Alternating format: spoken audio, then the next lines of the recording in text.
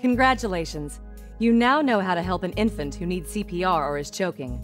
Being prepared for emergencies like these is just one part of what you need to know in order to keep a baby safe and healthy.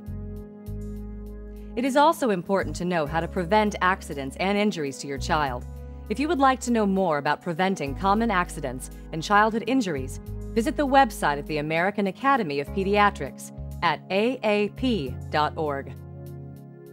If you would like to know more about CPR or find a CPR class near you, please call the American Heart Association or visit our website at americanheart.org/cpr. For more information about CPR anytime and to order additional infant kits or kits for adults and children, visit www.shopcpranytime.org.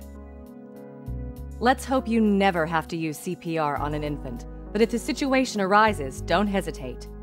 Tap and shout.